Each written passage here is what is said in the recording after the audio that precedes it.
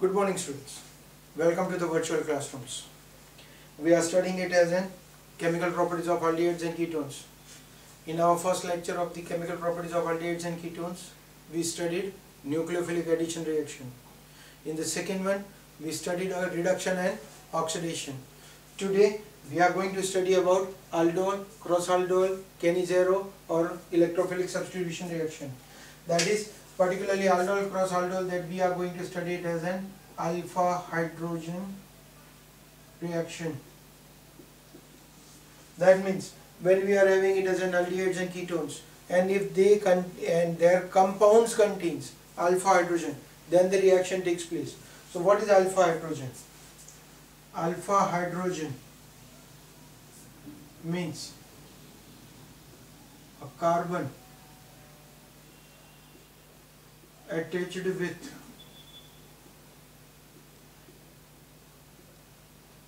functional group is known as alpha carbon and hydrogen attached with that carbon are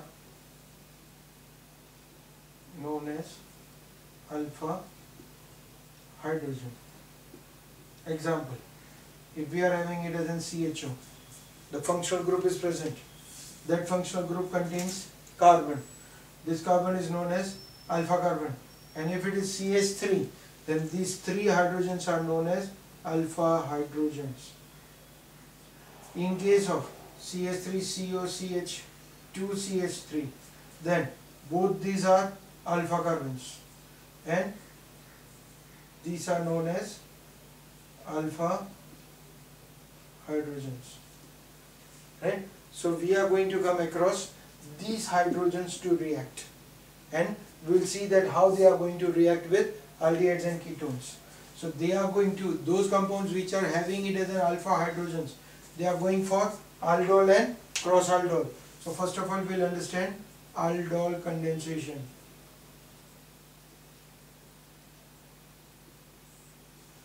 Aldol reactions, right? What is it? If we are having it as a CH3CHO, that means alpha carbon is there, so it contains alpha hydrogen with it. So this component is going for the reaction.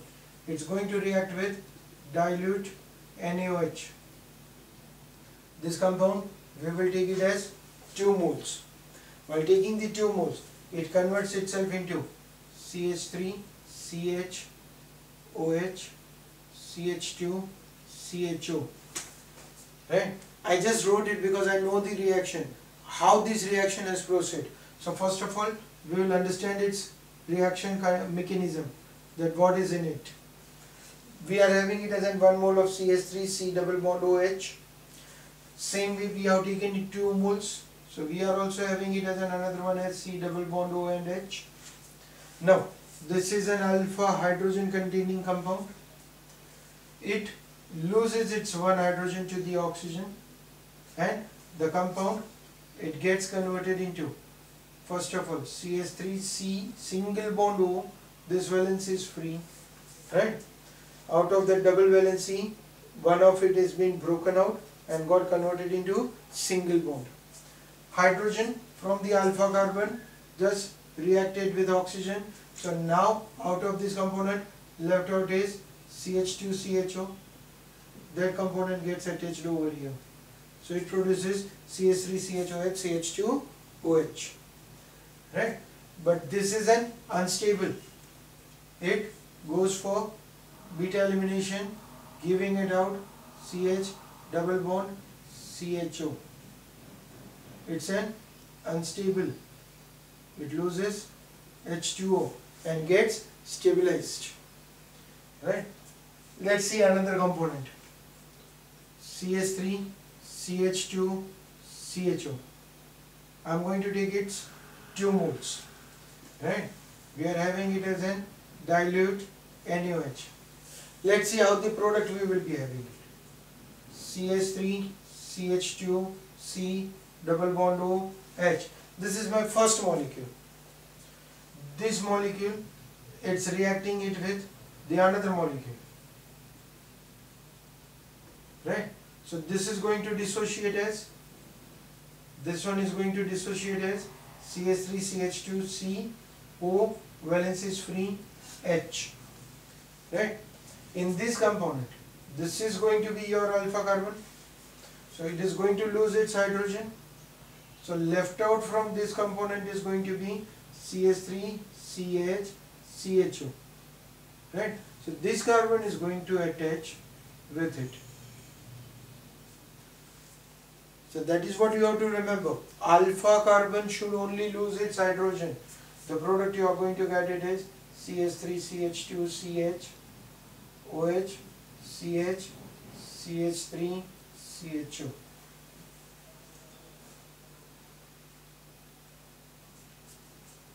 okay again this is going it for removal of H2O it gets converted into CH3 CH2 CH double bond C CH3 CHO right? So that is for the aldehydes we got it. Let's see the same reaction. Is it possible for ketones? CH3 CO CH3 2 moles so again dilute NaOH so this component can I write it as ketone CH3 C double bond O CH3 it's again reacted with CH3 C double bond O CH3 both of these are alpha hydrogen. So out of that only one we will be considering it. That it will lose its hydrogen. So we will get it as CH3C CH3 this is the oxygen which is going to get the hydrogen and this is the group which is attached.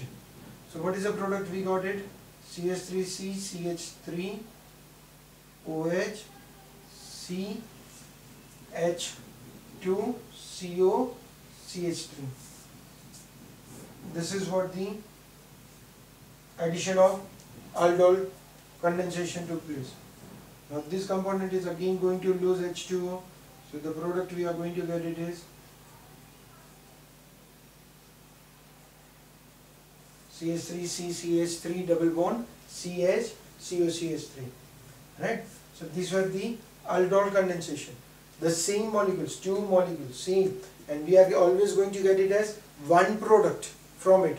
See during the aldol condensation two same molecules are reacting and we are getting it as one product only.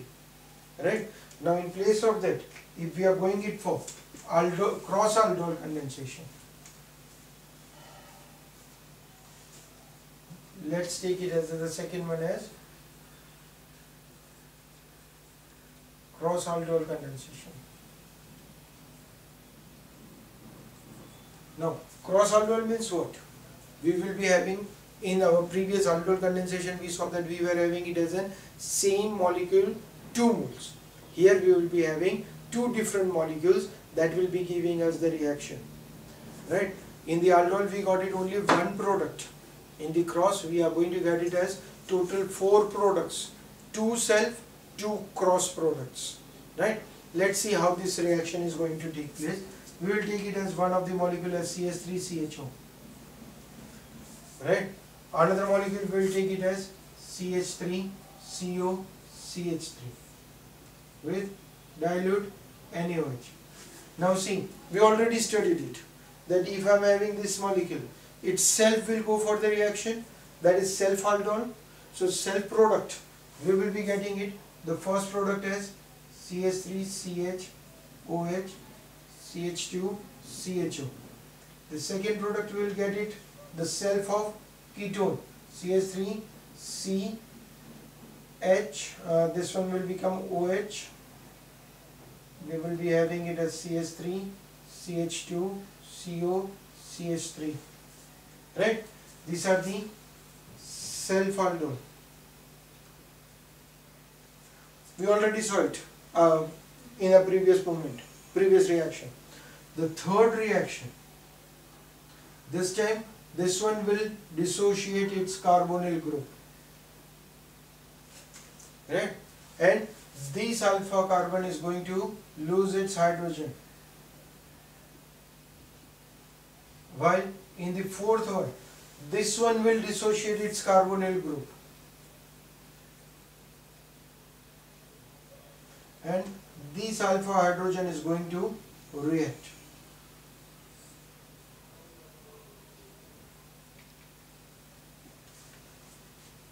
Okay so we got it as 2 as a cross product 2 as a self product. And all these four they are going to get stabilized by losing its H2O they will be getting converted into CH3 CH double bond CHCHO that is your first product second product CH3 CCH3 double bond CH COCH3 these are the self products. These are going to produce CH3 CH double bond CH COCH3 and this one will produce CH3 CCH3 double bond CH CHO these are the cross stable, stable products right so when we are having it as an aldol we are having same molecules. While we are when we are going it for cross we get it as four different products. Again it's not necessary that every time when we will go for cross aldol we should have both of them containing alpha hydrogen. We can have it as an the reaction in which one may contain alpha hydrogen and another may not contain alpha hydrogen. Still their cross products are possible one with alpha hydrogen and another without alpha hydrogen.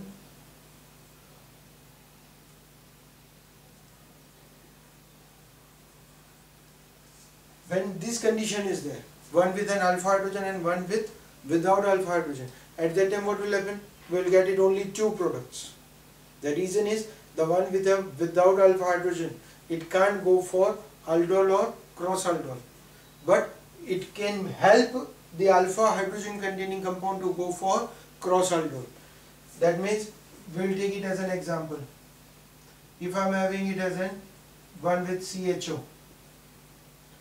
without alpha hydrogen going to react with CH3CHO alpha hydrogen. It's with alpha hydrogen right?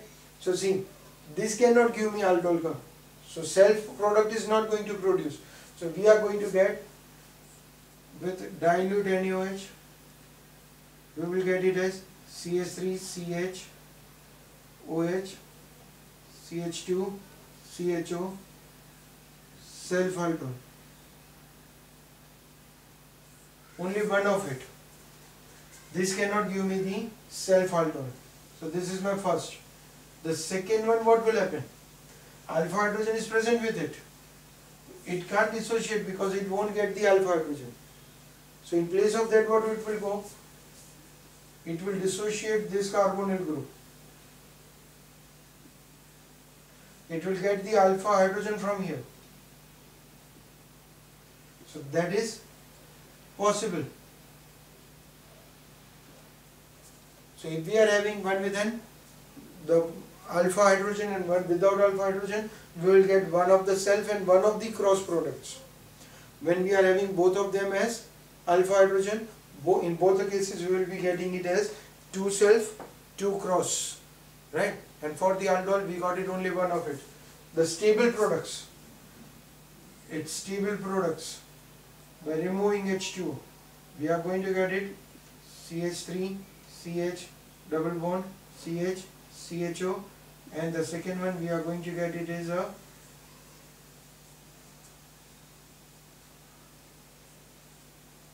CH double bond CH CHO right? It's a stable products for the two different components. When we are having one with alpha and one without alpha hydrogen. Okay so presence of alpha hydrogen takes the compound for aldol or cross aldol but there are many compounds which do not have alpha hydrogen at all. Some of the compounds are there which do not have alpha carbon itself. Right? In absence of alpha hydrogen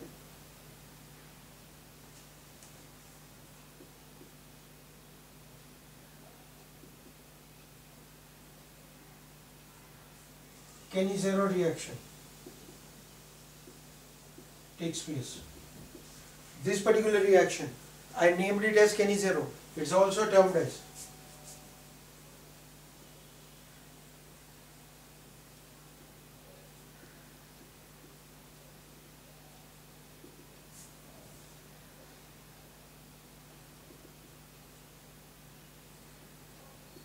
disproportionation reaction. What does it means? It goes for that is the same component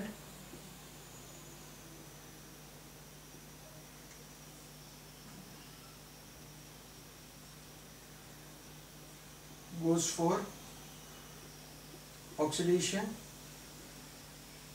as well as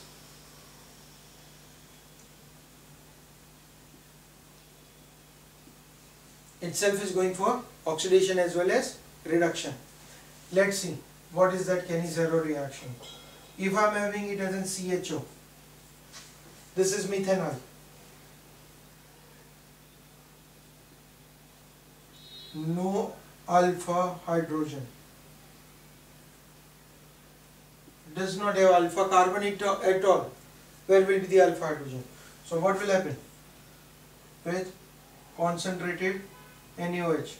It gets converted into CH3OH plus HCOOH. Right? That means the first one we can say that it's a reduction and the second molecule went for oxidation. That is why it is considered as disproportionate. We took it as a benzaldehyde it does not have alpha hydrogen. Carbon is there, but alpha hydrogen is not there. So what will happen? With concentrated NaOH, H2O, it will produce CH2OH plus COOH. Again you can say that it's a reduction oxidation right and it is getting disproportionated reaction. So two different products but we are getting one as oxidation reduction.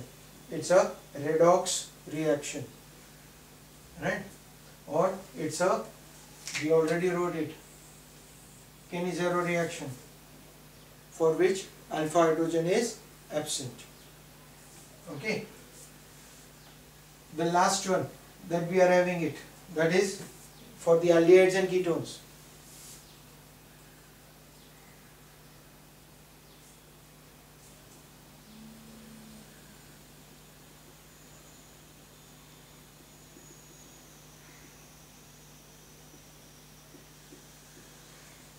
electrophilic substitution reaction. Now, when we are talking about the electrophilic substitution reaction, that means it will be for the aromatic uh, aldehydes and ketones that will be going it for the reaction on benzene nucleus right? For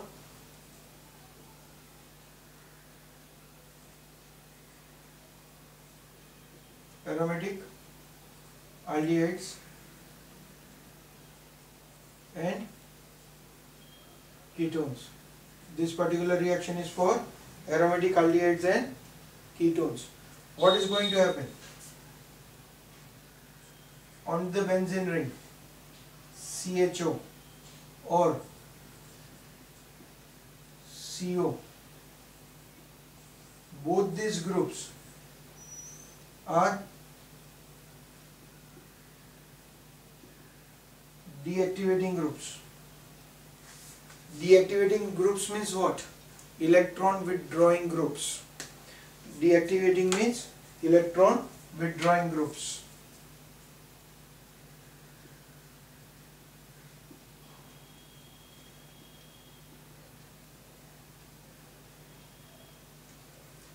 Now, electron withdrawing groups, they are all going to always act as a meta-directing.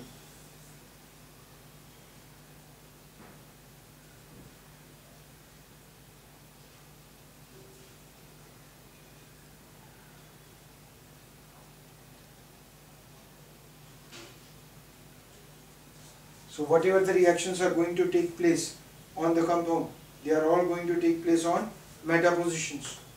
So what are the reactions that we will be having it? Let's see for the aldehyde.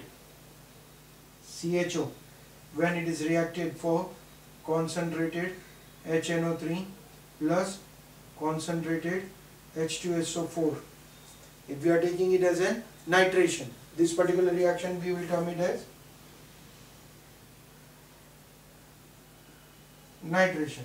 When the nitration reactions is taking place in the compound, what will happen? The nitration, we will be having it as on meta position, meta nitro, right? If I am going it for sulfonation, that means concentrated H2SO4. I am going to get again the component to react on meta position. So that means they are going to give me meta, right? Maybe chlorination, bromination reactions are taking place. Aldehyde, it will produce meta position. Similarly, if we take it as a ketone, COCH3, and if we go it for nitration, concentrated HNO3 plus concentrated H2SO4 we get it the product on nitro on meta position right? If you are going it for sulfonation.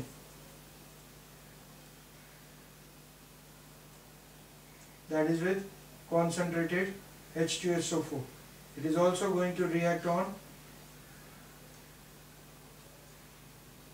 meta position so that means aldehydes and ketones, they are going to become as an meta-directing. All the reactions that we are going to get it on aromatic nucleus, they are going to take place on meta positions, right? These were all the chemical properties that we were having it for aldehydes and ketones. In our next lecture, we will be going through carboxylic acid, right? We will be taking it as a third functional group. Till in this all the chap uh, lectures we studied uh, aldehydes and ketones. Next one, carboxylic acid. Thank you.